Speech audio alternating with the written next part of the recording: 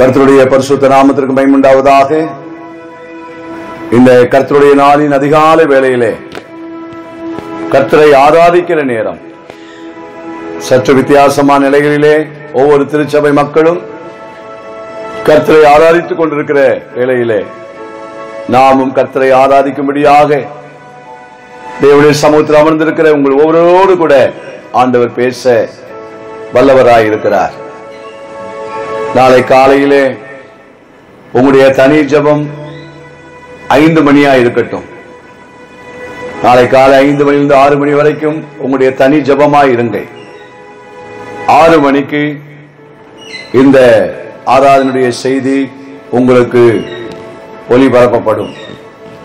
ஆகவே வழக்கம் போல ஐந்திலிருந்து ஆறு உங்களுடைய குடும்ப ஜெபம் கர்த்தருடைய நாளுக்கான ஜெபத்தை நீங்கள் செய்யுங்கள். எல்லா ஊழியங்களுக்காக ஊழியர்களுக்காக எல்லா சபை மக்களுக்காக. இந்த நான்காவது மாதத்தின் இந்த ஐந்தாம் நாள் முதல் ஞாயிற்றுக்கிழமை. நம்ம எல்லாருக்கும் தெரியும். கர்த்தருடைய பந்தியை அனுசரிக்கிற முதல் கர்த்தருடைய நாள். ஆனால் நாளை தினம் சபையாரே உங்களுக்கு கர்த்தருடைய பந்தியை கொடுக்க முடியாத நிலையில் இருக்கிறேன். அது உங்களுக்கு தெரியும். ஆனாலும் அப்பத்தினாலும் ரசத்தினாலும் ஆண்டவரோடு இணைகிற நம்முடைய அனுபவம் சில வேளைகளிலே இந்த அப்பம் ரசமும் திருச்சபைக்குள் பெற்றுக்கொள்ள முடியாத சூழலில் நாம் இருந்தாலும் நாம் ஆண்டுடைய பிள்ளைகள் தான் நாம் அவருடைய தலையிலே இணைக்கப்பட்ட சரீரங்களாக அவயங்களாக ஆண்டவர் நம்ம வைத்திருக்கிறார். அந்த விசுவாசத்தோடு இருங்கள். எதுவும் நம்மை பிரிக்க முடியாது.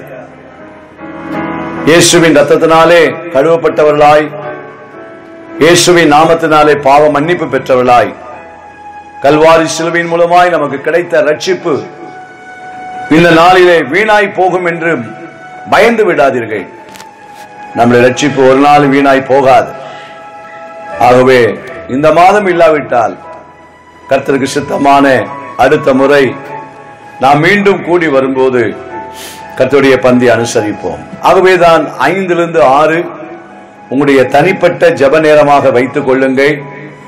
ஆறு மணிக்கு பிறகு நீங்க அஞ்சிலிருந்து ஆறு வேற சபையாருக்கு சொல்றேன். வேற எந்த ப்ரோக்ராமையும் யாருடைய ப்ரோக்ராமையும் நீங்க பார்க்க கூடாது அது உங்களுடைய தனி ஜெபம் விசேஷமாக நாளை தினத்திலே இந்தியாவில் இருக்கிற எல்லா சபை மக்களுக்காக எல்லா ஸ்தாபனங்களுக்காக இண்டிபெண்டன்ட் சர்ச்சஸுக்காக எல்லா ஊழியர்களுக்காக சிறிய ஊழியர்கள் பெரிய ஊழியர்கள் எல்லாருக்காக விசுவாசிகளை உங்களுக்கு சொல்லுகிறேன் ஒரு மணி நேரம் பாரத்தோடு ஜெபம் பண்ணுங்கள். ஜெபமே ஒரு ஜெயம் என்பதை நாம் நிரூபிக்கும் ஒரு நாட்களுக்குள் கர்த்தர் நம்மை கொண்டு வந்திருக்கிறார். ஆகவே கர்த்தருடைய பிள்ளைகள் நாளை தினத்திலே ஆறு மணிக்கு பிறகு என்னுடைய செய்தியை கேட்க உங்களை அன்பாய் கேட்டுக்கொள்கிறேன் கர்த்தர் நீங்கள் கர்த்தருடைய வார்த்தைக்கு கீழ்ப்படிந்து இதை நிறைவேற்றுவல் என்று நம்புகிறேன்.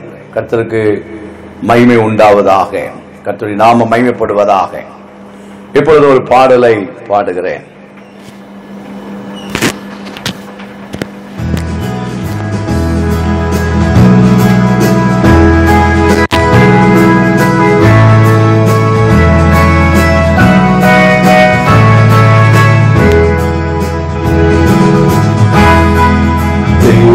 சித்தம் நிறைவேற என்னையும் படைக்கிறே.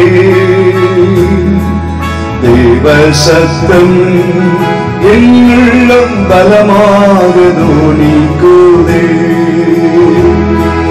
தேவ சித்தம் நிறைவேற என்னையும் படைக்கிறே. தேவ சத்தம் என் உள்ளம் பலமாக தோணிக்குதே முட்களுக்குள் மலர்கின்றதோ மக்களை கவரும் நிலி புஷ்பந்தோ முட்களுக்குள் மலர்கின்றதோ மக்களை மக்களை கவரும் லீலி புஷ்பம் போல் என்னையுமே சாயலாய் என்றென்றும் உருவாக்குவார். என்னையும் தம் சாயலாய் என்றென்றும்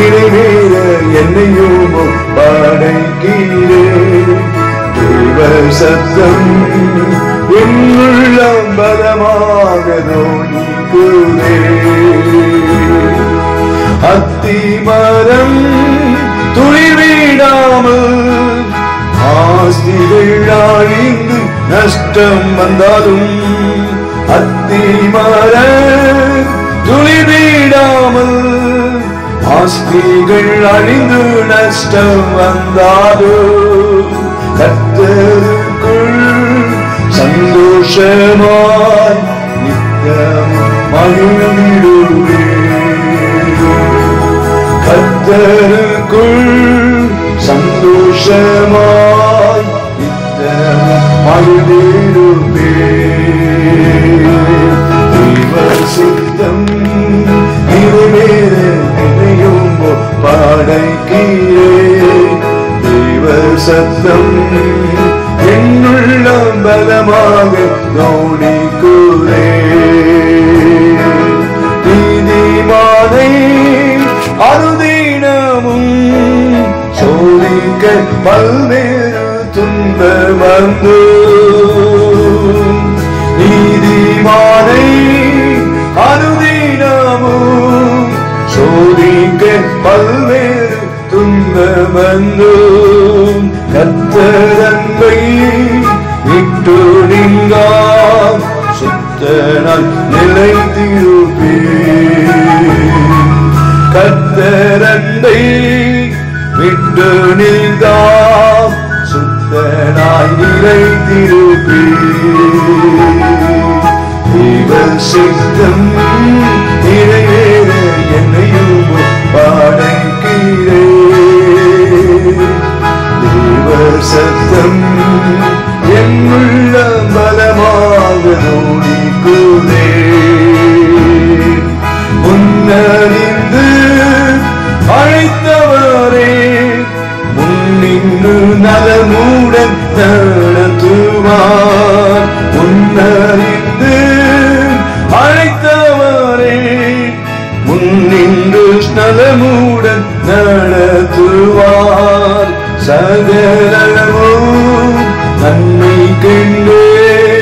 சாட்சியாய் முடித்திடுவார்.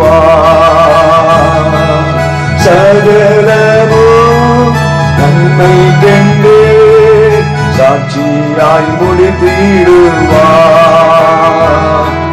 தேவ சித்தம் நிறைவேற என்னையும் படைக்கிறே தேவ சத்தம் என்னுள்ள பலமாக தோணிக்குதே கஷ்டமெல்லாம் துளையுமோ நான்?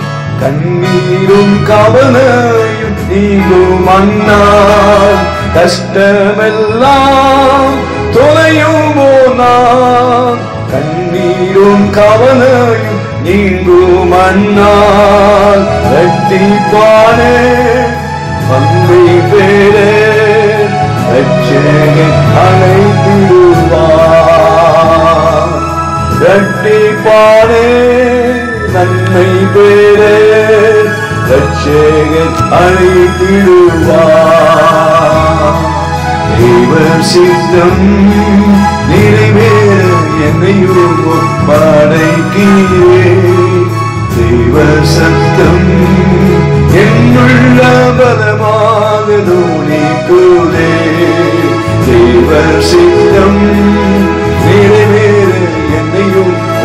ஒப்படைக்கிறே தேவ சத்தம் எங்குள்ள பலமாகுதோ நீ தோணிக்குதே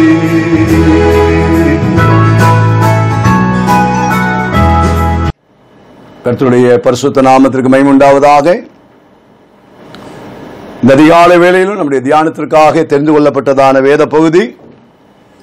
அப்போஸ்தலனாகிய பவுல் பிலிப்பியருக்கு எழுதின நிருபம் பிலிப்பியருக்கு எழுதின நிருபம் முதலாம் அதிகாரம் பனிரெண்டாம் வசனத்தை வாசிக்கிறேன் கவனியுங்கள். பிலிப்பியர் முதலாம் அதிகாரம் பனிரெண்டாம் வசனம்.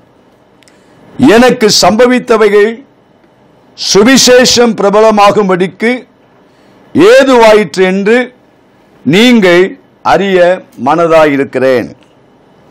பதிமூன்றாம் வசனத்திலே அரண்மனை எங்கும் உள்ளவர்களுக்கும் மற்ற யாவருக்கும் என் கட்டுகள் கிறிஸ்துவுக்குள்ளான கட்டுகள் என்று வெளியரங்கமாகி பதினான்கிலே சகோதரிகள் அநேகர் என் கட்டுகளாலே கர்த்தருக்குள் திறன் கொண்டு பயமில்லாமல் திருவசனத்தை சொல்லும்படி அதிகமாய் துணிந்திருக்கிறார்கள். ஆமே தேவனுடைய வார்த்தையை கவனியுங்கள். அப்போ நாகிய பவுல் சொல்லுகிறார் எனக்கு சம்பவித்தவைகள். இது ஒரு ஆழமான ஒரு வார்த்தை.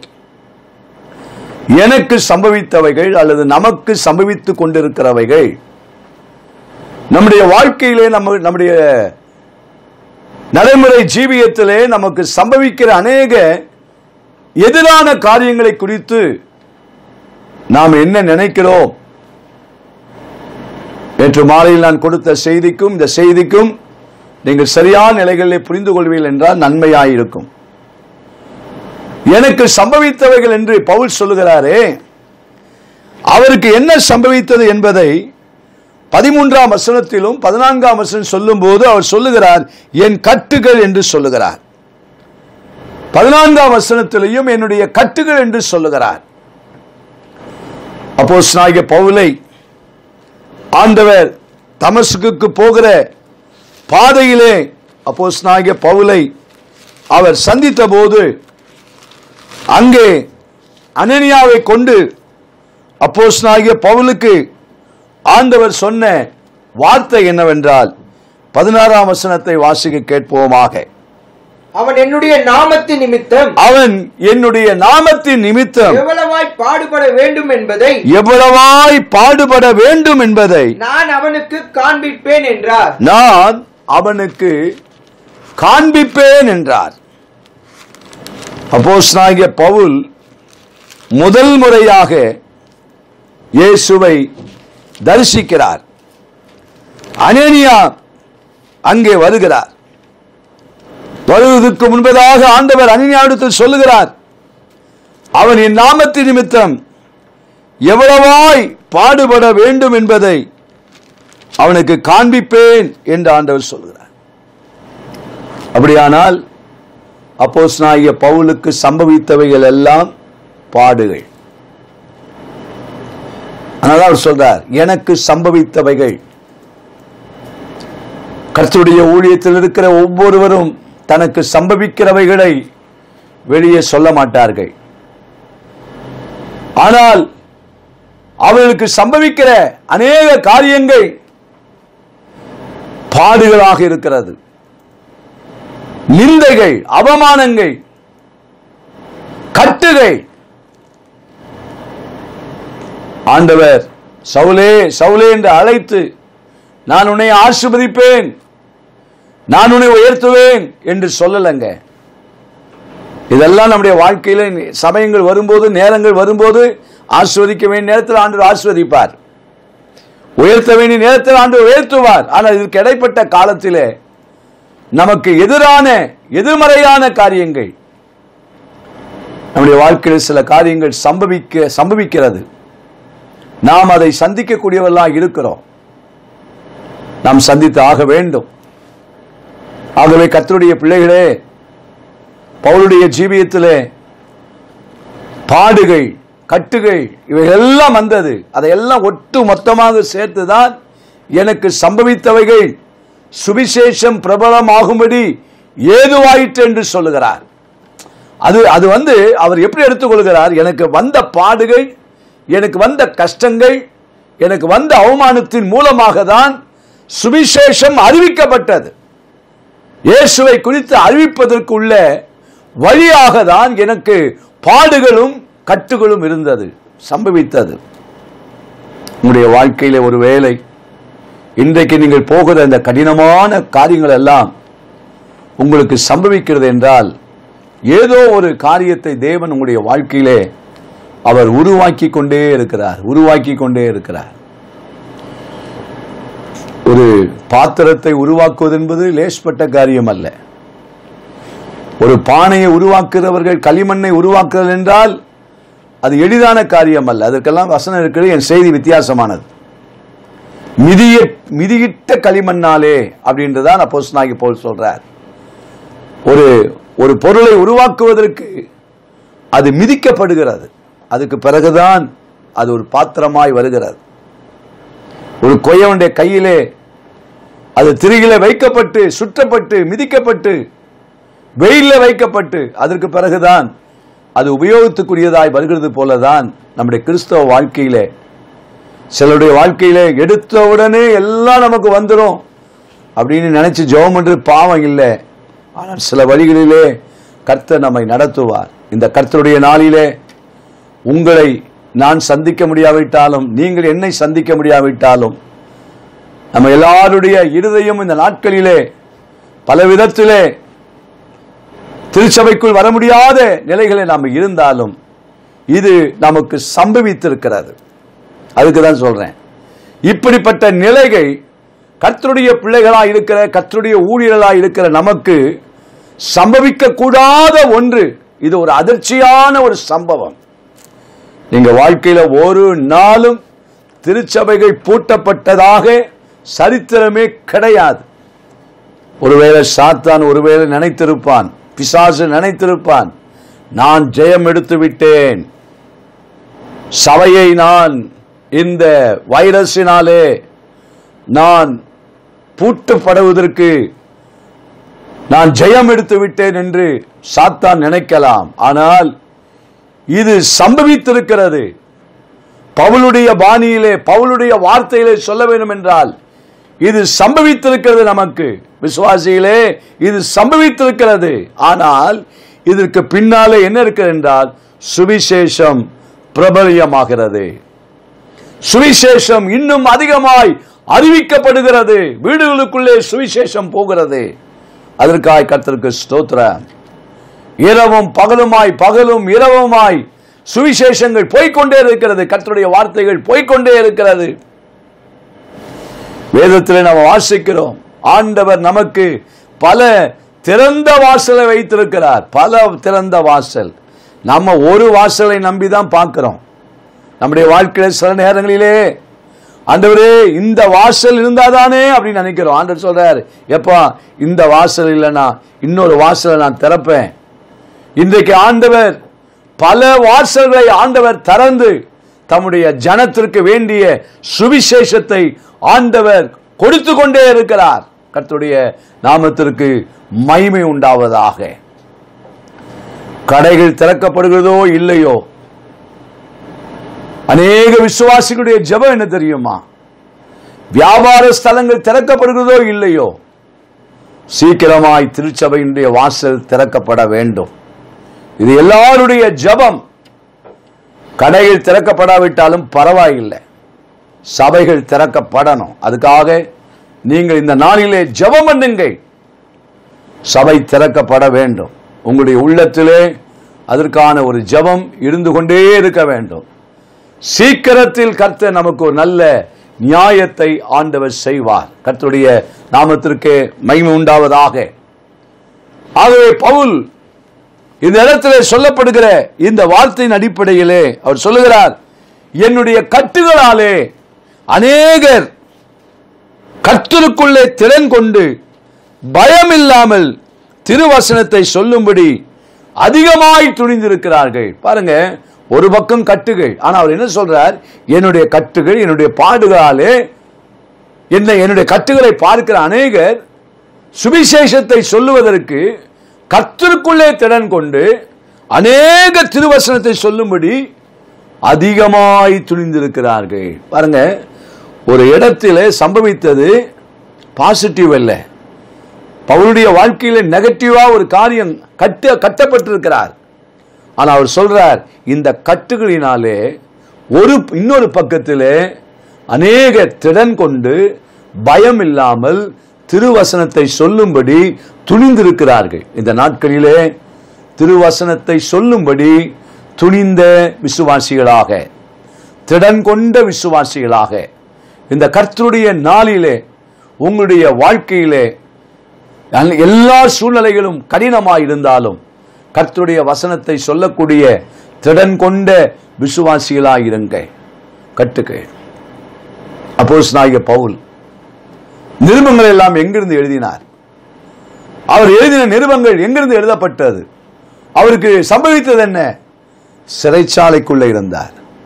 அப்போஸ் நாயக பவுல் சிறைச்சாலைக்குள்ளே இருக்கும்போதுதான் சும்மா இருக்கல அவர் நிருபத்தை எழுதினார்.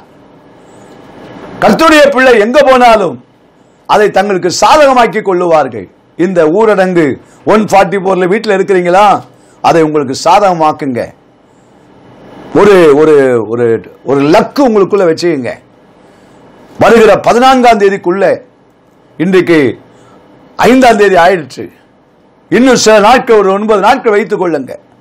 இந்த நாட்களிலே எப்படி ஆகிலும் ஆண்டவரே நான் இந்த வேதத்தில் இந்த பகுதியை அல்லது சங்கீதம் ஒன்று முதல் நூற்றி ஐம்பது சங்கீதத்தையும் நான் வாசித்து முடிச்சிருவேன் ஆண்டவரே. ஒரு ஒரு லக்கோட போங்க. உங்களுக்கு எந்த பகுதியை எஸ்ஐக்கு தீர்க்க தரிசனமா ஏசையா தீர்க்க தரிசனமா? சும்மா எங்கேயாவது கை வச்சு ஒரு அதிகாரத்தை வாசிக்காதீங்க. ஒன்னா அதிகாரத்திலிருந்து கடைசி வரைக்கும்.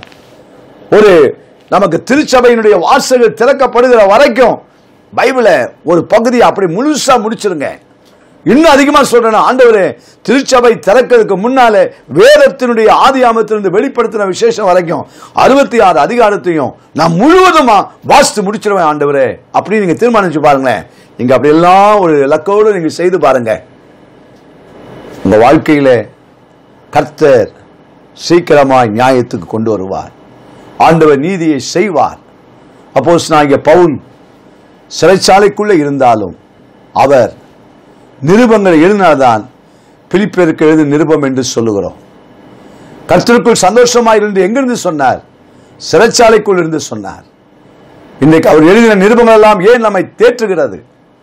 நமக்கு ஏன் அது தைரியப்படுத்துகிறது? அவர் கட்டுகளின் மத்தியிலே அந்த பாடுகள் தனக்கு சம்பவித்த அந்த பாடுகளிலே வீசின வாசனை. நமக்கு பாடுகள் வரும்போது நாம் அநேகருக்கு வாசனையாய் மாறிவிடுவோம். கொரிந்த நிருபத்தில் அப்போஸ்தனாகிய பவுல் சொல்கிறார் அல்லவா? நாங்கள் கிறிஸ்துவின் நற்கந்தங்களாக இருக்கிறோம் என்று சொல்லுகிறார். அவர் நற்கந்தமாக இருப்பதற்கு காரணம் என்ன? அவருக்கு அவர் சந்தித்த கடினமான நிலை கஷ்டமான நிலை. நம்ம யாரெல்லாம் கஷ்டமான நிலையில போறோமோ நம்மை கத்தர் நற்கந்தங்களாக நறுமணம் வீசக்கூடிய ஒரு ரோஜாவை போல நல்ல வாசனை திரவியங்களைப் போல ஆண்டவர் நம்மை ஆண்டவர் மாற்றி விடுவார் தைரியமாயிரு சகோதரனே தைரியமாயிரு சகோதரியே. நம்முடைய வாழ்க்கையில கர்த்தர் நமக்கு சம்பவிக்க அனுமதித்தவைகள் எல்லாம் ஒரு நன்மைக்கு எதுவாக தான் நடத்தப்படும். அதே அப்போஸ் பவுல் ரோமருக்கு நிருபம் எட்டாம் அதிகாரம் இருபத்தி எட்டாம் வசனத்தில் அவர் குறிப்பிடும் போது அன்றையும் அவருடைய தீர்மானத்தின்படி அன்றையும் அவருடைய தீர்மானத்தின்படி அழைக்கப்பட்டவர்களாய் அழைக்கப்பட்டவர்களாய். தேவனிடத்தில் அன்பு கூறுகிறவர்களுக்கு தேவனிடத்தில் அன்பு கூறுகிறவர்களுக்கு சகலமும் நன்மைக்கு ஏதுவாக நடக்கிறது என்று அறிந்திருக்கிறோம். சகலமும் எதெல்லாம் நடக்குதோ அதெல்லாம் நன்மைக்கு தான் எதெல்லாம் நடக்குதோ சகலமும் அந்த அந்த வார்த்தையெல்லாம் அண்டர்லைன் பண்ணிக்கணும். சகலம் எது நடந்தாலும் இந்த இந்த ஞாயிற்றுக்கிழமை ராபோஜனம் இல்லையா? பரவாயில்ல. நன்மைக்கு தான் நீங்க ஒருவேளை அது எப்படி பாஸ்ட நன்மை அப்படின்னு நீங்க கேட்கக்கூடாது. ராபோஜனம் யாருது? இயேசுவோடு கூட நாம ஐக்கியமா இருப்பதுக்குள்ள அடையாளம். அவருடைய சரீரத்தை அடையாளமாக அப்பத்தை கொடுக்கிறோம். அவருடைய ரத்தத்துக்கு அடையாளமாக ரசத்தை கொடுக்கிறோம். கொடுக்கும்போது என்ன சொல்றோம்? அவரோடு பண்ணுகிற புதிய உடன்படிக்கை. அப்போ இந்த இந்த காரியத்தை செய்யறதற்கு இயேசுவானவர் இந்த நாளிலே நமக்கு வாய்ப்பு இல்லாமல் சம்பவிக்க பண்ணிட்டார். அவ்வளவுதான். நான் இந்த காரியத்தை குறித்து ஜெபிக்கிறேன். ஆண்டவரே இப்படி இல்லையேன்னு ஒரு ஜெபம் இருக்கும். அதுக்காக இதை குறித்து நான் சந்தோஷப்படலை நீங்களும் சந்தோஷப்பட வேண்டாம். ஆனால் இப்படி சம்பவித்த இந்த காரியத்திற்குள்ளே நம்மை ஆண்டவர் வெட்கப்படுத்தினா நினைச்சிடாதீங்க. நம்மை ஆண்டவர் வெட்கப்படுத்தவே மாட்டார். நம்மை ஆண்டவர் நற்கந்தங்களாக மாற்றுவார்.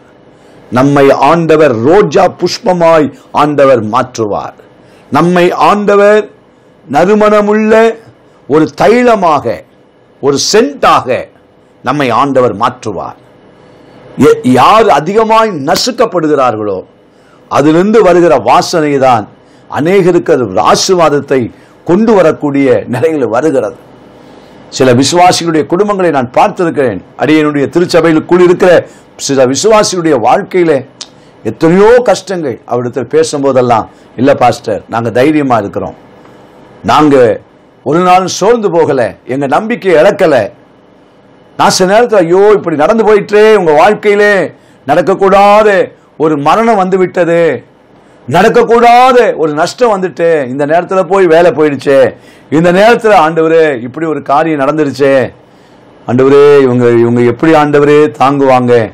அப்படின்னு மனதிலே சிந்தித்து அவர்களுக்காய் ஜெபம் பண்ணி அவளை பார்க்க நேரத்தில் அவங்க சொல்கிற வார்த்தை என்னை ரொம்ப உற்சாகப்படுத்தியிருக்கிறது. அநேக நேரத்தில் விசுவாசிகளுடைய வார்த்தைகள் அவ அவர்கள் சொல்லும்போது அதிக உற்சாகம் அப்போ தான் எனக்கு தெரியும். ஆண்டவர் நம்முடைய ஊழியத்தில் ஆண்டவர் நம்மை பயன்படுத்தினால தான் இவர்கள் தங்களுடைய வாழ்க்கையிலே இந்த சோதனையை அவர்கள் எப்படி எடுத்துக்கொள்ளுகிறார்கள்? இதனாலே எங்களுடைய ஆத்துமா பாதிக்கப்படவில்லை. கர்த்தர் ஒரு நோக்கத்தோடு இதை சம்பவிக்க பண்ணின எத்தனை விசுவாசிகள்? இந்தியாவில் இருக்க எல்லா விசுவாசிகளும் அப்படித்தான். ஆகவே உங்களுடைய வாழ்க்கையிலே சகலமும் நன்மைக்கு ஏதுவாக நடந்து கொண்டே இருக்கிறது. எதெல்லாம் இன்றைக்கு நடக்குதோ நீங்கள் கர்த்தருடைய பிள்ளைகள். நீங்கள் கர்த்தரை விசுவாசிக்கிற பிள்ளைகள். நீங்கள் கர்த்தரை நேசிக்கிறவர்கள். இன்றைக்கு உங்களுடைய வாழ்க்கையிலே நாம் கூடி ஆராதிக்க முடியாவிட்டாலும் கர்த்தர் தம்முடைய பிள்ளைகளுக்கு இதை நன்மையாகவே முடிய பண்ணுவார். நன்மையாகவே முடிய பண்ணுவார். நாம் ஒரு நாள் இதை குறித்து ஜீவனுள்ள சாட்சிகளாக நான் ஏற்கனவே என்ற செய்தியிலே சொல்லியிருக்கிறேன். மீண்டுமாய் உங்களை சந்திக்கும் போது வீட்டில் இருந்தவர்கள் உங்களுடைய அனுபவங்களை பகிர்ந்து கொள்ளுங்கள் என்ற ஒரு வாய்ப்பை நான் கொடுப்பேன். நீங்கள் வீட்டிலே என்ன செய்து கொண்டிருந்தீர்கள்? நீங்கள் எந்த நிலைகளை கத்தர் உங்களை பலப்படுத்தி அப்போ நீங்கள் சொல்வீங்க பாருங்க எல்லாருடைய சாட்சிகளும் ஜீவனுள்ள சாட்சியாய் மாறும். இதை ஒன்று சொல்லட்டுமா? இன்னைக்கு இந்த பயங்கரமான இந்த கொடிய தாக்குதலுடைய வைரஸினுடைய வியாதியினாலே இந்த கொள்ளை நோயினாலே பாதிக்கப்பட்ட பல தேசங்களிலே வாட்ஸ்அப்பில் பார்க்கிறேன். பல செய்திகள் வருகிறது வீடியோக்கள் வருகிறது. என்ன செய்யா தெரியுமா? ஜனங்கள் எல்லாரும் ரோட்டில் முழங்கால் போட்டு ஜெபம் பண்றாங்க. என்றைக்காவது இப்படி பார்த்துருக்கிறீங்களா? பல இடங்களில் ஜனங்க ரோட்டில் நடு ரோட்டில் இருந்து ஜீசஸ் எசுவே எசுவே என்று சின்ன பிள்ளைகள் வாலிப பிள்ளைகள் பெரியவர்கள் எங்கேயாக அவர்கள் சோர்ந்து போனார்களா? நடுரோட்டில் வந்து கதறுகிறார்கள். அன்றுவே என்று ஒவ்வொரு நாட்டிலையும் பாருங்க. நடுரோட்டில் வந்து ஜோ பண்ணிட்டு இருக்கிறாங்க. அந்த தேசங்கள் எல்லாம் ஒரு அசைவு. சில தேசங்களில் இப்பொழுது சட்டங்களையே மாற்றுகிறார்கள். அப்ப நன்மை நடக்குதா இல்லையா? நம்ம வைரஸ் குறித்து பயந்து கலங்கி ஐயோ இப்படி சபை திறக்கப்படாம போயிடுச்சுன்னு நினைக்கிறோம். ஆனால் இதனால சில இடங்களிலே நடந்த உண்மை என்ன? வாட்ஸ்அப்பில் வந்த செய்திகள் என்ன? சட்டங்களையே மாற்றுகிறார்கள். இதுவரைக்கும் இருந்த சட்டத்திலே திருத்தங்களை கொண்டு வந்து பூட்டப்பட்ட வாசல் எல்லாம் திறக்கப்பட்டு கொண்டிருக்கிறது. அதுதாங்க நறுமணம். கர்த்தர் அதை தான் ஆண்டவர் நம்முடைய வாழ்க்கையில் செய்கிறார். சகலமும் நன்மைக்கு எதுவாகவே நடக்கிறது என்று அறிந்திருக்கிறோம். உங்கள் வாழ்க்கையிலே இந்த கர்த்தருடைய நாளிலே எதையும் நீங்கள் தே- தேவனுடைய பிள்ளைகளாக இருக்கிற உங்களை பார்த்து தான் சொல்லுகிறேன். சபைக்குள்ளே கர்த்தரை ஆவியோடும் உண்மையோடும் ஆராதித்த உங்களை பார்த்து சொல்லுகிறேன். உங்கள் வாழ்க்கையில இந்த நாட்கள் நடக்கிற இந்த சம்பவங்கள் நன்மைக்கு ஏதுவானது. அப்போஸ் நாய பவுலுக்கு நடந்த அத்தனை சம்பவங்களும் நன்மைக்கு ஏதுவானதா இருந்தபடினால்தான் எல்லா நிருபங்களும் நம்மை தைரியப்படுத்துகிறது. நம்மை பலப்படுத்தக்கூடியதா இருக்கிறது. கர்த்தருடைய நாமத்திற்கு மைமுண்டாவதாக பரிசுத்த யோவான் இந்த சுவிசேஷம் பதினோராம் அதிகாரம் பதினைந்தாம் வசனத்தை வாசிக்க கேட்போமாக. யோவானின் சுவிசேஷம் பதினோரு அங்கே இராததினால் நான் அங்கே இராததினால் நீங்கள் விசுவாசம் உள்ளவர்களாகிறதற்கு நீங்கள் விசுவாசம் உள்ளவர்கள் ஆகிறதற்கு ஏது உண்டான்று ஏது உண்டென்று ஏது உண்டென்று உங்கள் நிமித்தம் சந்தோஷப்படுகிறேன். உங்கள் நிமித்தம் சந்தோஷப்படுகிறேன். இப்பொழுது அவனிடத்திற்கு போவோம் வாருங்கள் என்றார். இப்பொழுது அவனிடத்திற்கு போவோம் வாருங்கள் என்றார். கர்த்தருடைய நாமத்திற்கு மகிமை உண்டாவதாக. அங்கே லாசரு வியாதியா இருந்தார் லாசருடைய சகோதரிகள் இயேசுவை மறுபடி அழைத்தார்கள். இயேசு வரல. அவருடைய உள்ளத்தில் ஒரு ஒரு காரியம் இருந்தது. அதைத்தான் அந்த பதினைந்தாம் வசனத்தில் இயேசு இப்பொழுது சொல்லுகிறார். நான் ஏன் லாசுரு வியாதியாக இருக்கும்போது நான் உங்கள் வீட்டுக்கு ஏன் போகலை? அப்படிங்கிற காரணத்தை அங்கே குறிப்பிடுகிறார். அப்போ லாசுரு ஏன் மரணம் அடைந்தார்? இந்த லாசருடைய மரணம் ஏன் இயேசு சிநேகிக்கிற அந்த அதிகாரத்திலே நான் வாசிக்கும் போது அங்கே சொல்லப்பட்டிருக்கிறது மூன்றாம் வசனத்திலே பதினொன்று மூன்று. அப்பொழுது அவனுடைய சகோதரிகள் அப்பொழுது அவனுடைய சகோதரிகள் ஆண்டவரே நீர் சிநேகிக்கிறவன் வியாதியா நீ இருக்கிறான் என்று சொல்ல, சிநேகிக்கிறவன் வியாதியா இருக்கான்னு சொல்ல. அவரிடத்திற்கு ஆள் அப்ப அனுப்பினார்கள் லாசருவை ஆண்டவர் அதிகமாய் சிநேகித்திருக்கிறார். நீங்க யாரை சிநேகிக்கிறீங்களோ நீங்க ஒரு வெளி ஊர்லயோ அல்லது வெளி தூரத்திலோ இருக்கிறீங்க வைத்துக் கொள்ளுங்க. நீங்க சிநேகிக்கிற ஒரு நபருக்கு ஒரு பிரச்சனைன்னு சொன்னால் ஒரு மரணம் அல்லது ஒரு பயங்கரமான ஒரு வியாதின்னு சொன்னால் இருபத்தி நாலு மணி நேரத்துக்குள்ள பிளேனை பிடிச்சி ஏதாவது பஸ்ஸுக்கு மாறி அந்த சிநேகிக்கிற ஆளுக்கு இருக்கிற பிரச்சனையை கவனிக்கிறதுக்காக நீங்க ஓடி வருவீங்க. பறந்து வருவீங்க. எவ்வளவு பணம் ஆனாலும் பரவாயில்ல. ஒரு முறை கான்ஃபரன்ஸுக்காக கல்கட்டாவுக்கு போயிருக்கும் போது ஒரு ஊழியருடைய தகப்பனார் மதித்து போனார். அவர் பாவம் பரிதாபமான அந்த நாளிலே பொருளாதாரத்திலே கஷ்டப்பட்டவர் ஏழ்மையான ஊழியர். அவர் வந்து என் தகப்பனார் மறித்து போனார். என் தகப்பனாருடைய அடக்க ஆராதனைக்கு நான் போக வேண்டும் என்று ஸ்தாபன தலைவரிடத்தில் கேட்டபோது உடனடியாக ஸ்தாபன தலைவர்கள் ட்ரெயினில் போனால் ரெண்டு நாள் ஆகிவிடும். ஆகவே இவர் போக வேண்டும் என்பதற்காக விமான டிக்கெட்டுக்கான பண பணத்தை கொடுத்து விமானத்தில் அனுப்புவதற்குரிய ஏற்பாடுகளை செய்து அனுப்பி வைத்தார்கள். ஏன்? தகப்பனார் உடனடியாக போக வேண்டும். நாம யாரை சிநேகிக்கிறோமோ அவளுக்கு ஏதாவது ஒன்று ஏற்பட்டால் நாம் உடனே புறப்படுவோம். ஆனால் இயேசு பாருங்க மார்த்தால் மரியான் சொல்றாங்க நீர் சிநேகிக்கிறவன் வியாதியா இருக்கிறான் அவங்க எந்த அர்த்தத்தை சொல்லியிருப்பாங்க? எல்லாத்தையும் விட்டுட்டு அவர் ஓடி வந்துருவாரு. நான் சிநேகிக்கிற லாசுரு வியாதியா? அதுவும் மரணத்துக்கு எதுவான வியாதியா? எல்லாத்தையும் இப்போ நான் ஜெபம் பண்ண மாட்டேன் இப்போ உங்கள்கிட்ட பிரசங்கம் பண்ண மாட்டேன் இப்போ உங்கள்கிட்ட ஊழியம் செய்ய மாட்டேன் அப்படின்னு நேராக ஓடி வரல. பதினஞ்சாம் வசனம் தெளிவாக சொல்லப்பட்டிருக்கிறது. நான் ஏன் என்னை நான் சிநேகிக்கிறவன் வியாதியாக இருக்கும்போது நான் ஏன் போகலை? ஏன் அந்த மரணத்தை அனுமதித்தேன்? லாஸ்டருடைய மரணத்தை நான் அனுமதித்தேனே? லாஸ்டருவை வியாதியை அனுமதித்தேன். சிநேகிக்கிறவனுக்கு வியாதி சிநேகிக்கிறவனுக்கு மரணம் ஆண்டவர் லாசருவை சிநேகித்தார். சரி அடக்கம் பண்ணுவதற்கு முன்னதாக இயேசு வரக்கூடாதா? அப்பவும் வரல. அடக்கம் பண்ணுகிறதும் லாசருவுக்கு சம்பவித்தது. அந்த குடும்பத்துக்கு சம்பவித்தது. சரி அடக்கம் பண்ணி அடுத்த நாள் வரக்கூடாதா நாலாவது நாள் வருகிறார். அதையும் சம்பவிக்க பண்ணினார். அப்ப என்ன நடந்திருக்கும்? மூணு நாள் இனி இயேசு வரவே மாட்டார். பதினைந்தாம் வசனத்தில் சொல்லப்பட்டிருக்கிறது ஏ சொல்லுகிறார் நான் அங்கே இராததினாலே நீங்கள் விசுவாசம் உள்ளவர்கள் ஆகிறதற்கு ஏது உண்டென்று உங்கள் நிமித்தம் சந்தோஷப்படுகிறேன். உங்க வாழ்க்கையிலே சில பயங்கரமான சூழ்நிலைகள் ஒரு படுமோசமான நிலைகள் ரொம்ப கடினமான நிலைகள் அவைகள் வரும்போது ஐயோ இந்த நேரத்தில் ஆண்டவர் வந்து இந்த நேரத்தில் ஏன் செய்யல? இன்னைக்கு நிறைய பேருக்கு இந்த கொஸ்டின் இருக்குங்க. இவ்வளோ பேர் ஜோம் பண்றாங்களே.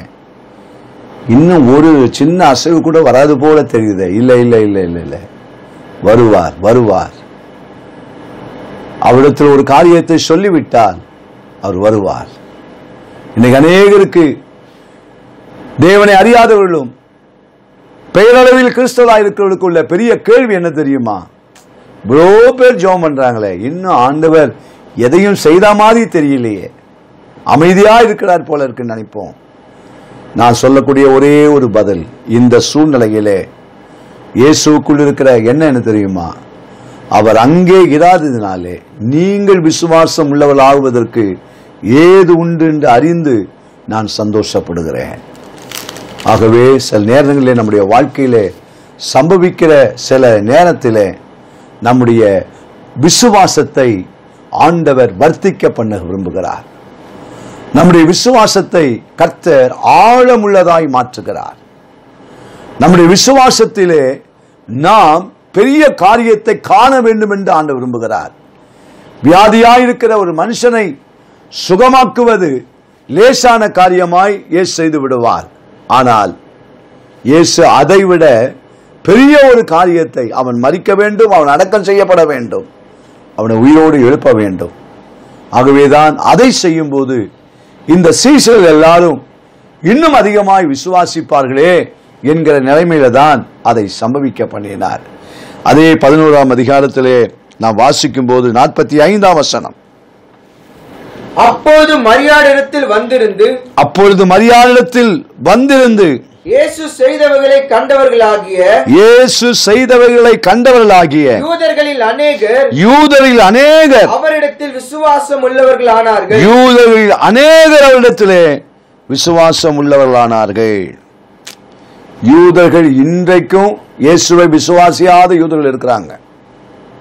இஸ்ரவேல் தேசத்துக்கு போனால் இயேசுவை விசுவாசியாத யூதர்கள் இருக்கிறாங்க. இஸ்ரேல் மக்கள் இருக்கிறாங்க. அவங்க என்ன சொல்றாங்க? இன்னும் மேசியா வரல. நாங்க மேசியாவுக்காக காத்திருக்கிறோம். அவங்க உள்ளத்துல என்ன? வந்தவர். சிறு அறையப்பட்டவர். அவர் அல்ல. நாங்க எதிர்பார்க்கிற மேசியா வேற. ஆனால் இயேசு கிறிஸ்துடைய காலத்தில் அதிகமாக இயேசுவை எதிர்த்தவர்கள் யார் தெரியுமா? யூதர்கள் தான் அப்போ சிலர் ஊழியம் செய்யும் போது அப்போஸ்தலருக்கு விரோதமாக எதிர்த்தவர்கள் யார் தெரியுமா? யூதர்கள் தான் அதிகமாக எதிர்த்தவர்கள் அவங்க தான் ஆனால் லாஸ்ருவை உயிரோடு எழுப்பின போது அந்த வசனம் சொல்லுகிறது யூதர்களில் அநேகர் அவரிடத்தில் விசுவாசம் வைத்தார்கள். யார் விசுவாசிக்க மாட்டோம்னு சொன்னார்களோ அவர்களை விசுவாசிக்க வைக்கும்படியாக இயேசு லாசருடைய வியாதியில் வராமல் லாசர் மறித்த உடனே வராமல் அடக்கம் பண்ணப்பட்ட உடனே வராமல் நாலாம் நாள் வந்து அவர் உயிரோடு எழுப்ப ஒரே ஒரு காரணம். யூதர்கள் விசுவாசிக்கவும் சீஷர்கள் விசுவாசிக்கவும். அன்பு சகோனே சகோதரியே நம்முடைய வாழ்க்கையிலே நாம சில காரியத்தை உடனே புரிந்து கொள்ள முடியாது அறிந்து கொள்ள முடியாது. ஆனால் காலங்கள் வரும்போது நேரங்கள் வரும்போது இதை ஏன் தேவன் இவைகளெல்லாம் நம்முடைய வாழ்க்கையிலே சம்பவிக்க பண்ணுகிறார் என்பதற்கு ஒரே ஒரு வார்த்தையை சொல்ல வேண்டும் என்றால் ஆண்டவர் நம்ம வாழ்க்கையிலே விசுவாசத்தை அதிகமாய் அவர் மேல் வைத்து விசுவாசத்திலே சில்ற சில்ற காரியத்தை அல்ல விசுவாசத்தினாலே பெரிய பெரிய காரியங்களை நாம் நிறைவேற்ற ஆண்டு விரும்புகிறார். நாம் ஆண்டவரை பற்றி விசுவாசத்திலே உறுதியா இருக்கும்படி சில காரியத்தை ஆண்டவர் சம்பவிக்க பண்ணுவார். கர்த்தருடைய பரிசுத்த நாமத்திற்கு மைமுண்டாவதாக அது மாத்திரமல்ல அப்போஸ் நடவடிக்கை பதினாறாம் அதிகாரம். அப்போஸ் நடவடிக்கை பதினாறாம் அதிகாரத்திலே ஒரு வசனத்தை வாசிப்போம். அப்போஸ் நடவடிக்கை பதினாறாம் அதிகாரம். அங்கே சொல்லப்பட்டிருக்கிறது இருபத்தி நான்காம் வசனம். அவன் இப்படிப்பட்டவர்களை கட்டளை பெற்று அவன் இப்படிப்பட்ட கட்டளையை பெற்று அவர்களை உட்காவலிலே அடைத்து அவர்களை உட்காவலறையிலே அடைத்து அவர்கள் கால்களை தொடுவ மரத்திலே மாட்டி அவர்கள் கால்களை தொழுவ மரத்திலே மாட்டி வைத்தார்கள். இருபத்தி ரெண்டாம் வசனம்.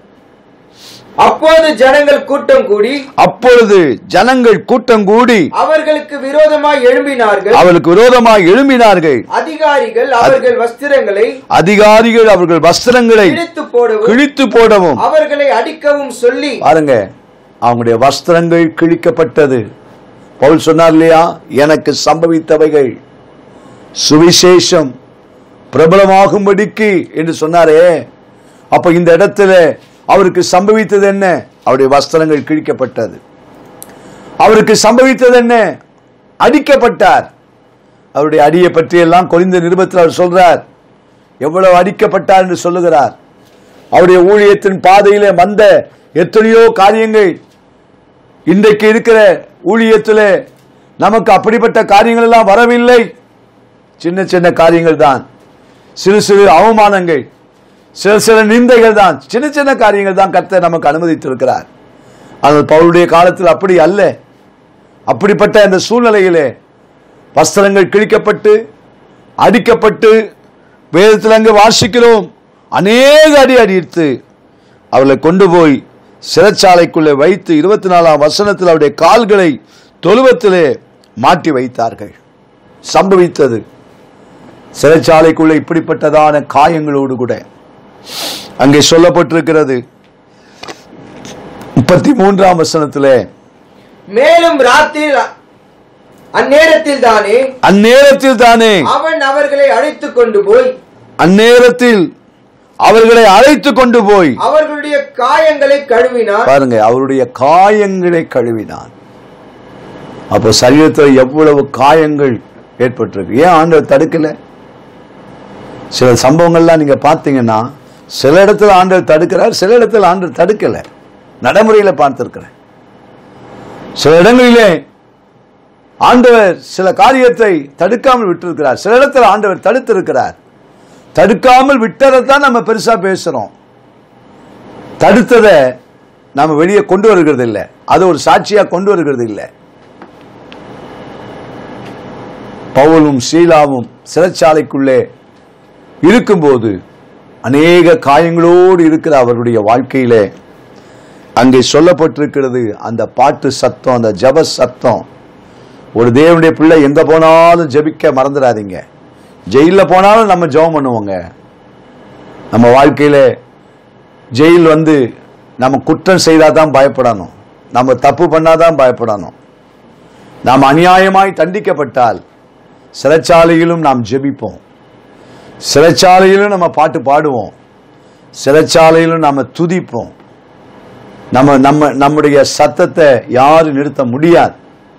நம்ம எங்க போனாலும் கர்த்தருடைய நாமத்தை மேம்படுத்துவோம் திருச்சபைக்குள் இருக்கிற அதே இயேசு உங்கள் வீட்டில் இருக்கும் இயேசு யோசைப்போடு சிறைச்சாலையில் இயேசு இருந்தது போல கர்த்தருக்காக உண்மையாய் செயல்படுகிற ஒரு ஊழியரோ விசுவாசியோ தேவையில்லாமல் குற்றம் சாட்டப்பட்டு அவர் சிறைச்சாலைக்குள் இருந்தால் அமைதியாக இருக்க மாட்டார். அந்த தண்டனையின் மத்தியிலே அவர் பாடுவார் துதிப்பார் ஜெபிப்பார். கர்த்தருடைய நாமத்தை மயமப்படுத்துவார் அமைதியாக இருக்க மாட்டார். அந்த வசனத்தில் ஒரு காரியத்தை உங்களுக்கு குறிப்பிட விரும்புகிறேன். இருபத்தி ஐந்தாம் வசனம். நடுராத்திரியிலே நடுராத்திரியிலே பவுலும் சீலாவும் ஜெபம் பண்ணி பவுலும் சீலாவும் ஜெபம் பண்ணி தேவனை துதித்து பாடினார்கள். எவ்வளவு இது ஆச்சரியமான ஒன்று. தேவனை துதித்து பாடினார்கள். காவலில் வைக்கப்பட்டவர்கள் காவலில் வைக்கப்பட்டவர்கள். அதை கேட்டுக் கொண்டிருந்தார்கள். பாருங்க அங்க இருக்கிற காவல்ல இருக்கிற மற்ற எல்லா ஆட்களும் இவங்க ஜபத்தை காதால கேட்கிறாங்க இவங்க பாட்டை காதால கேட்கிறாங்க இவங்க துதிய காய் மற்றவங்கெல்லாம் எப்படி இருக்கிற அவங்களும் இதே காயத்தோட தான் இருப்பாங்க. ஆனால் அவர்களுக்கு ஒரு பெரிய அதிர்ச்சி என்னன்னா என்னையா இவங்க இவ்வளோ அடி வாங்கி துணியெல்லாம் கிழிச்சு இவங்க வந்து காலை வந்து தொழுவத்தில் மாட்டி இருக்கிறாங்க. புலம்ப வேண்டிய ஆளு ஐயோ அம்மான்னு கத்த வேண்டிய ஆளுங்க வழி தாங்கலையேன்னு சத்தம் போட வேண்டிய ஆட்கள் ஜெபம் பண்றாங்களே. அந்த ஜெபத்தின் சத்தத்தை அவங்க கேட்கிறாங்க. இன்னைக்கு எத்தனையோ விசுவாசிகளுங்க கஷ்டத்துல ஜெபம் பண்ணிட்டு இருக்கிறாங்க. வேதனையில ஜோம் பண்ணி பக்கத்து வீட்டுக்காரங்க பாக்குறாங்க. என்னப்பா இவங்க இந்த நேரத்தில் ஜெபம் பண்றாங்க?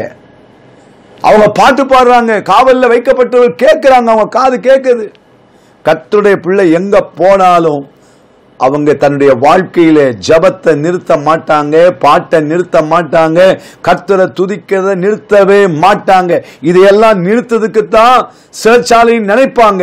ஆனா சிறைச்சாலைக்குள்ளும் இது தொடர்ந்து இவர்கள் செய்து கொண்டே இருப்பார்கள். அப்படிப்பட்ட நேரத்தில் தான் அங்கே சொல்லப்பட்டிருக்கிறது. கதவுகளெல்லாம் திறவுண்டது எல்லாருடைய கட்டுகளும் கலண்டு போயிட்டது. போன உடனே சிறைச்சாலைக்காரன் பார்க்கிறான். கதவுகள் திறந்திருக்கிறதே. ஐயோ இந்த பவுலும் சீலாவும் ஓடிவிட்டார்களோ என்று அவன் பயந்து தன்னை தற்கொலை செய்வதற்கு இருபத்தி ஏழாம் வசனத்தில் தன் பட்டயத்தை எடுத்து நாளை காலையிலே காவல்துறையில் உள்ளவர்கள் என்னை கொலை செய்வதற்கு என்பதாக என்னை தண்டிப்பதற்கு முதலாக நானே என்னை தண்டித்துக் கொள்கிறேன் என்று சொல்லி பயத்திலே பட்டயத்தை உருவி தன்னை தற்கொலை செய்து கொள்ள பார்க்கிற நேரத்தில் பவுலும் சீலாவும் சொல்லுகிறார்கள் நாங்கள் கோழைகள் அல்ல கதவு திறந்தவுடனே ஓடுவதற்கு நாங்கள் கோலைகள் அல்ல. நாங்கள் எல்லாரும் அவர் சொல்லுகிறார் நாங்கள் எல்லாரும் இங்கத்தான்ப்பா இருக்கிறோம்.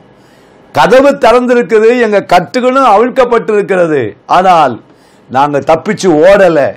இப்படி கதவு திறந்தா ஒரு திருட முதல்ல என்ன செய்வான்? ஓடத்தான் பார்ப்பான். எஸ்க அதுவும் அங்கே கா- காவல் காவல் காக்கிற அவர் என்ன செய்யிருக்காருன்னா தூங்கிட்டு இருக்கிறார். நித்திரை தெரிந்து என்று சொல்லப்பட்டிருக்கிறது. எஸ்கேப் ஆளுக்கு தான் பார்ப்பாங்க. ஆனா இவங்க ரெண்டு பேரும் அங்கேயே நிக்கிறாங்க. ஏன்னா அவங்களுக்கு தெரியும் எனக்கு சம்பவித்த இந்த சிறைச்சாலை. ஏதோ ஒரு நோக்கத்தோடு ஆண்டவர் சம்பவித்திருக்கிறார். வேத வசனத்திலே பார்க்கிறோம் உடனே அவன் தீபங்கள் எல்லாம் கொண்டு வர சொல்லி பவுலுக்கும் சீலாவுக்கும் முன்பாக இருபத்தி ஒன்பதாம் வசனத்தை வாசிக்க கேட்போமாக. அவன் தீபங்களை கொண்டு வர சொல்லி அப்பொழுது அவன் தீபங்களை கொண்டு வர சொல்லி உள்ளே ஓடி உள்ளே ஓடி நடுநடுங்கி நடு நடுங்கி பவுலுக்கும் சீலாவுக்கும் முன்பாக விழுந்து பாருங்க உள்ளே அடைத்து காவல் காத்தவன் பவுல் யார் சீலா யார்னு தெரியாதவன். ஒருவேளை இவனும் சேர்ந்து அவனை அடித்திருப்பான். ஆனால் இப்படி நடந்தது என்ன? அவருடைய கால்களுக்கு முன்பதாகவே வேதம் சொல்லுகிறது. பவுலுக்கும் சீலாவுக்கு முன்பாக விழுந்து. எப்படி ஆண்டவர் மாற்றுகிறார் பார்த்தீங்களா? கர்த்தர் மாற்றுவார். நாளை மாலையில் உள்ள இன்று மாலையில் உள்ள செய்தியை கேளுங்க. கத்துடைய நாளில் மாலையில் உள்ள செய்தி நீங்க கேளுங்க. சில காரியத்தை கத்தர் மாற்றுவார். அவர்களுக்கு முன்பதாக விழுந்து அவங்க கேட்கிறாங்க ஆண்டவன்மாரே நாங்கள்லாம் ரட்சிக்கப்படுவதற்கு நாங்கள் என்ன செய்யணும்? அப்போ இவங்க ரட்சிக்கப்படுவதற்கு இவர்கள் உள்ளே போக வேண்டியது இருக்கிறாரு சிறைக்கா சிறைச்சாலைக்குள்ள இருக்கிறவங்க ரட்சிக்கப்படணுமா? சில நேரத்தில் இந்த நாட்கள் இருக்கிற பிரச்சனை மத்தியில் சில நேரத்தில் உள்ளே போக வேண்டியது இருந்தாலும் உள்ளேயும் சுவிசேஷம் அறிவிக்கப்படும். உள்ளேயும் பாடலின் சத்தம் கேட்கும். ஜனங்களை கர்த்தர் உள்ளேயும் தொடவுவார். தொட ஆண்டவர் தொடுவார். ஆண்டுடைய வல்லமை அப்படிப்பட்டது. அதுக்கு பிறகு அந்த அதிகாரத்தில் பார்க்கிறோம் அவன் உடனே கேட்க ரட்சிக்கப்படுவதற்கு என்ன செய்யணும்? ஒரு ஒரு வசனத்தான் சொல்றார். கத்தராக இயேசு கிறிஸ்துவை விசுவாசி அப்பொழுது நீ உன் வீட்டார் ரட்சிக்கப்படுவீர்கள். எங்க நாலு மணி நேரம் பிரசங்கம் பண்ணா அந்த காலத்தில் ரட்சிக்கப்பட மாட்டேன்றாங்க. ஏன்னா இவங்கெல்லாம் பாடுகள் வழியா வரல. ஓத்திரத்தின் வழியா வரல. அப்போஸ் நாயக பவுல் பாடுகள் நிந்தைகள் கட்டுகள் உபத்திரவங்கள் இந்த வழியா வந்ததுனால ஒரு பெரிய பிரசங்கத்தை பண்ணல. ஒரே ஒரு வார்த்தை தான் சொன்னார். கர்த்தராகிய இயேசு கிறிஸ்துவை விசுவாசி அப்பொழுது நீ உன் வீட்டார் ரட்சிக்கப்படுவீர் முடிஞ்சிச்சு உடனே ரட்சிக்கப்பட்டார் உடனே இயேசு ஏற்றுக்கொண்டார். இதுக்கு காரணம் என்ன? அவருக்கு சம்பவித்தவைகளை சந்தோஷமாக ஏற்றுக்கொண்டார். அடிகள் காயங்கள் இதெல்லாம் அவருடைய வாழ்க்கையில சந்தோஷமா ஏற்றுக்கொண்ட உடனே ஒரே ஒரு வார்த்தை தான் சொன்னார். உடனே அவன் மாறினான். அது மாத்திரம் முப்பத்தி மூணு சொல்வ அன்ன ராத்திரியிலே போய் அழைத்து கொண்டு போய் அவருடைய காயங்களை அந்த அதிகாரி கழுவினான். உடனே அவர் எல்லாரும் ஞானஸ்நானம் பெற்றார்கள். உடனே அங்கே ஞானஸ்நானம் பெற்றார்கள். எவ்வளோ அற்புதமான காரியம் பார்த்தீங்களா? சகலம் நன்மைக்கு எதுவாக தாங்க நடக்கும். இதுவரைக்கும் கடின இதயத்தோடு இருந்தவர்கள் இதுவரைக்கும் மனம் திரும்பாதவர்கள் எல்லாரும் இனிமேல் மனம் திரும்புவார்கள். இனிமேல் இதுவரைக்கும் இயேசு வண்டையிலே வராதவர்கள் எல்லாரும் கத்துடைய பிள்ளைகளை விடாமல் ஜெபம் பண்ணுங்க. இயேசு வண்டையில வருவார்கள். யாருக்கெல்லாம் பல வருடங்களாய் நீங்கள் ஜெபித்தீர்களோ இருபது வருடமா பத்து வருடமா சில மாதங்களாக ஜெபிக்கிறீங்களா? ஒய்கோஸில் எழுதி கொடுத்த பேர்களை வைத்து ஜெபம் பண்ணி கொண்டு இருங்க. அதை அப்படியே விட்டுறாதீங்க. உங்களுடைய உங்கள் கரங்கள் கொடுக்கப்பட்டதான பேப்பரில் எழுதப்பட்ட பெயர்களை சொல்லி ஜெபம் பண்ணுங்க. இந்த நாட்களிலே இயேசு கிறிஸ்துவின் நாமத்தினால் அவர்கள் ரட்சிக்கப்படுவார்களாக இயேசு கிறிஸ்துவை அவர்கள் சொந்த ரட்சகராக ஏற்றுக்கொள்வார்களாக. இயேசுடைய பிள்ளையாக மாறுவார்களாக. கத்தது செய்வார். அந்த நாளிலே அவர்கள் ஞானஸ்நானம் பெற்றார்கள் என்று பார்க்கிறோம். அது மாத்திரமல்ல முப்பத்தி நான்காம் வசனத்திலே அவர்கள் தேவனத்தில் விசுவாசம் உள்ளவராகி மனமகிழ்ச்சியா இருந்தான்னு சொல்லப்பட்டிருக்கிறது.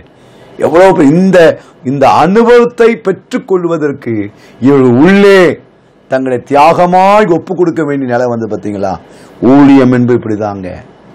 எல்லாரும் நமக்கு மாலை போட மாட்டாங்க. எல்லாரும் நமக்கு பிரியாணியும் போட மாட்டாங்க. சில நேரத்தில் வெளியே பார்க்கும்போது நினைப்பாங்க இவங்கெல்லாம் நல்ல சுகபோகமாக இருக்கிறாங்கன்னு. நான் சில ஆட்களுக்கு சொல்லுவேன் ஊழியத்துக்கு வாப்பா ஊழியத்துக்கு வா. எங்களோடு சேர்ந்து ஊழியம் செய். அப்பொழுது நீ சில காரியங்களை புரிந்து கொள்ள முடியும் விளங்கி கொள்ள முடியும். நாங்கள் இன்னைக்கெல்லாம் உட்கார்ந்து நாங்கள் இப்படிலாம் இருந்தோம்னு சொன்னால் கூட நீங்கள் அதிலெல்லாம் நம்பவும் மாட்டீங்க. நீங்கள் ஏற்றுக்கொள்ளவும் மாட்டீங்க. இவரெல்லாம் பொய் சொல்கிறாருன்னு தான் சொல்லுவீங்க. நாங்கள் சொல்றதெல்லாம் சில நேரத்தில் இப்படிப்பட்ட நபர்களுக்கு அது பொய்யா தான் தெரியும். நீங்கள் என்னைக்கு ஊழியத்துக்கு வரீங்களோ என்னைக்கு நீங்கள் ஊழியம் செய்ய ஆரம்பிக்கிறீங்களோ அன்னைக்கு தான் தெரியும் ஆண்டவர் நம்மளை எவ்வளவு கசக்கி பிடிகிறார் மற்றவங்களை பார்க்கறதுக்கு தான் ஒரு நல்ல வஸ்திரத்தை நாங்கள் போடுகிறோம். மற்றவர்களுக்கு உண்பதாக ஜனங்களுக்கு உண்பதாக படித்தவர்கள் உயர்ந்தவர்கள் நாங்கள் ஒரு இடத்துல போய் நிற்கும் போது நாங்கள் ஏதோ ஒரு சாதாரண நிலையில் இருக்கக்கூடாது என்பதற்காக தான் நல்ல வஸ்திரங்களை அணிகிறோமே தவிர பேருக்காக புகழுக்காக அல்ல. கர்த்துடைய பிள்ளைகளை இதுக்கு பின்னாலே பின்னணியத்தில் பல கஷ்டங்கள் இருக்கிறது.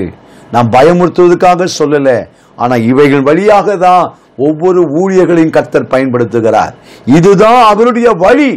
இந்த வழிக்குள்ளே இருந்தவங்க தான் இன்றைக்கு கர்த்தருக்காக எரிந்து பிரகாசித்துக் கொண்டிருக்கிறார்கள். எழுந்து ஒளி வீசிக் கொண்டிருக்கிறார்கள். பல லட்சம் மக்கள் அவர்களுக்கு பின்னாலே இருக்கிறார்கள். கர்த்தர் அவர்களை ஆண்டவர் பயன்படுத்தி கொண்டு வருகிறார். கர்த்தருடைய நாமத்திற்கு மைம உண்டாவதாக.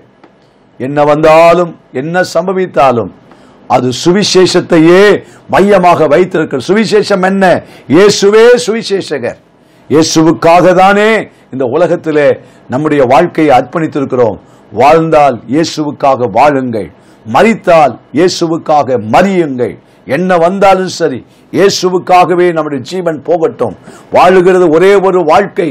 இந்த வாழ்க்கை ஒரு முறை வாழுகிற இந்த வாழ்க்கையிலே இயேசுவுக்காகவே வாழ்ந்து இயேசுவுக்காகவே மறிப்போமாக பவுல் சொன்னார் இயேசு கிறிஸ்துவின் நாமத்துக்காக நான் கட்டப்படுவதற்கு மாத்திரமல்ல நான் மறிப்பதற்கும் ஆயத்தமாக இருக்கிறேன். ஏதாவது ஒரு விதத்தில் நமக்கு மரணம் வரும். அன்பான கற்றுடைய பிள்ளையே சிலர் விபத்திலே மறிக்கிறார்கள் ஆக்சிடென்டிலே மறிக்கிறார்கள் சிலருடைய வாழ்க்கையிலே சுகர் கம்பெனினாலே மறிக்கிறார்கள்.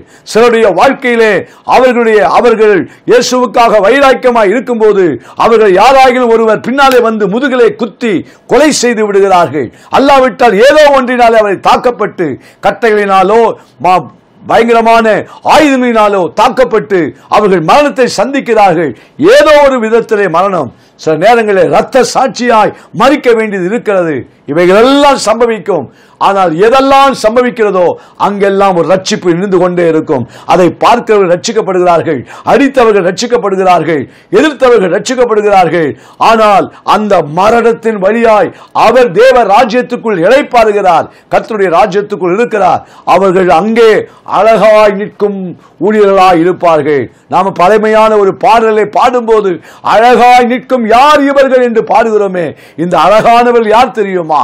இயேசுவுக்காக பாடுகள் நிந்தைகளை சுமந்தவர்கள் இயேசுவுக்காக நிந்தைகளை சுமந்தவர்கள் இயேசுவுக்காய் கட்டப்பட்டவர்கள் இயேசுவுக்காக சிறைச்சாலைக்குள்ளே போனவர்கள் இயேசுவுக்காக நிந்தைகளை அனுபவித்தவர்கள் அவமானத்தின் வார்த்தைகளை கேட்டவர்கள் எதையோ கேட்டவர்கள் ஒரு நாள் அவர்கள் மரணத்தை எந்த விதத்தில் சந்திக்க வேண்டியதாக இருந்தாலும் அவர்கள் தேவனுடைய ராஜ்யத்திலே அழகாய் நிற்கிறதான தேவ மனுஷர்களாய் கர்த்தர் மாற்றுகிறார். ஆகவே இந்த நாட்களிலே மரணத்தை கண்டு பயப்படாதீர்கள். மரணம் நம்மை கண்டு பயப்படக்கூடிய அளவிற்கு இயேசுவுக்கு பயப்படுங்கள். இயேசுவுக்கு பயந்து விட்டால் மரணம் நம்மை கண்டு பயப்படும். ஒரு நாள் நமக்கு ஆண்டவர் நியமித்த இந்த ஓட்டம் முடிவடையும். அன்றைக்கு நாம் கத்துடைய ராஜ்யத்திலே நாம் இருப்போம். கத்துடைய நாமத்திற்கு மகிமை உண்டாவதாக. நேரம் முடிகிறபடி நான் நான் உங்களுக்கு சொல்லுகிறேன். இந்த கத்துடைய நாளிலே இந்த நாட்கள் சம்பவிக்கிற ஒவ்வொரு ஒவ்வொரு காரியத்தையும் நன்மையாகவே பாருங்கள். கர்த்தர் நம்மை என்னவாக உருவாக்க விரும்புகிறார்? நம்மை எப்படி ஆண்டவர் நடத்த விரும்புகிறார் என்பதை நீங்கள் எதிர்பார்த்தவர்களாகவே இருங்கள். கர்த்துடைய நாமத்திற்கு மைமை உண்டாவதாக. கடைசியாய் ஒன்றை சொல்லி முடிக்க விரும்புகிறேன். பரிசுத்த லூக்கான சுவிசேஷம் இருபத்தி ஓராம் அதிகாரம். இருபத்தி ஓராம் அதிகாரம். பனிரெண்டாம் வசனத்தை வாசிக்க கேட்போமாக. லூக்கான சுவிசேஷம் இருபத்தி ஓராம் அதிகாரம். பனிரெண்டாம் வசனம். இவைகள் எல்லாம் நடப்பதற்கு முன்னே இவைகளெல்லாம் நடப்பதற்கு முன்னே நிமித்தம் என் நாமத்தின் நிமித்தம் அவர்கள் உங்களை பிடித்து அவர்கள் உங்களை பிடித்து ஜெப ஆலயங்களுக்கும் ஜெப ஆலயங்களுக்குள்ளும் சிறைச்சாலைகளுக்குள்ளும் ஒப்பு கொடுத்து ராஜாக்கள் முன்பாகவும் ராஜாக்கள் முன்பாகவும் அதிபதிகள் முன்பாகவும் அதிபதிகள் முன்பாகவும் உங்களை இழுத்து நம்மை துன்பப்படுத்துவார்கள். துன்பப்படுத்துவார்கள் இதெல்லாம் தீர்க்க தரிசனமாய் ஏசு அன்றைக்கு சொல்லிட்டு போயிட்டார் உங்களை துன்பப்படுத்துவார்கள். உங்களுக்கு இப்படிப்பட்ட காரியங்கள் எல்லாம் சம்பவிக்கும். ஆனாலும் அங்கே சொல்லப்பட்டிருக்கு பதிமூன்றாம் வசனத்துல. ஆனாலும் அது உங்களுக்கு. சாட்சி ஆவதற்கு ஏதுவாயிருக்கும். ஆனால் அது உங்களுக்கு சாட்சி ஆவதற்கு ஏதுவாய். ஏதுவா இருக்கு பாத்தீங்களா? இந்த காரியங்கள் எல்லாம் சாட்சியாய் மாறுமா? என்ன சாட்சி? எப்படிப்பட்ட சாட்சி? ஒன்றுமில்லாத ஒரு மனுஷனை நாம் இப்படி எல்லாம் துன்பப்படுத்திட்டோமே. ஏதோ ஒரு மனதிலே ஏதோ ஒன்றை வைத்துக்கொண்டு காரணமில்லாமல் இப்படி பண்ணிட்டோமே. இரவிலே அவர் யோசிப்பார். பகலிலே அதை யோசிப்பார். ஒரு நாள் அவர் இயேசுவை ஏற்றுக்கொண்டு அவர் சாட்சியாக நிற்கும்படி கர்த்தர் மாற்றி விடுகிறார். கத்துடைய பிள்ளைகளே இந்த இறுதி நேரத்தில் சொல்லுகிறேன். பவுல் சொன்னது போல நமக்கு சம்பவிக்கிறவைகள் எல்லாம் அது நன்மைக்கு எதுவாகவே சம்பவிக்கும். நமக்கு சம்பவிக்கிறவைகள் எல்லாம் நம்மை நற்கந்தங்களாக மாற்றும். நமக்கு சம்பவிக்கிறவைகள் எல்லாம் அநேகருடைய ரட்சிப்புக்கு ஏதுவாக மாறும். நமக்கு சம்பவிக்கிறவர்கள் எல்லாம் அது சாட்சி ஆவதற்கு அநேக சாட்சி ஆவதற்கு அது ஏதுவாக இருக்கும். நாம் நமக்கு சம்பவிக்கிறவைகள் நம்முடைய விசுவாசத்தை பெருக்குவதற்கு ஏதுவாக இருக்கும். கண்களை மூடி நாம் ஜெயிப்போம் எங்கள் அதிகமாய் நேசிக்கிற எங்கள் அன்பின் தகப்பனே எங்களுக்கு சம்பவிக்கிறவைகளை குறித்து நாங்கள் பயப்படாமல் கத்துடைய பிள்ளைகளாயிருக்கிற எங்களுடைய வாழ்க்கையில இன்றைக்கு நடக்கிற ஒவ்வொரு சம்பவங்களும் ஒருவேளை அதிர்ச்சியை தரலாம்.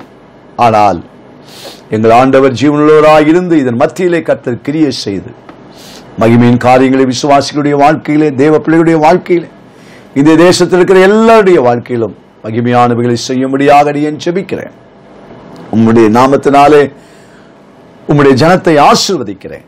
இயேசுவின் நாமத்தில் பிதாவே ஆமே ஆமே என் ஆத்துமாவே கர்த்தரை ஸ்தோத்ரி என் முழுமையோடு பரிசுத்த நாமத்தை என் ஆத்துமாவே கர்த்தரை ஸ்தோத்திரம். கர்த்தர் செய்த சகல உபகாரங்களையும் மறவாதே. ஆமேன் ஆமேன். நம்முடைய கர்த்தராகிய இயேசு கிறிஸ்துவனுடைய கிருபையும் பிதாவாகிய தேவனுடைய அன்பு பரிசுத்த ஆவியானுடைய அந்யோனி ஐக்கியமும் இந்த செய்தியை கேட்டுக்கொண்டிருந்த அனைவரோடு கூட குடும்பங்களோடு கூட எப்பொழுதும் என்னென்னைக்கு இருப்பதாக. ஆமேன். ஆமேன். பிரைஸ்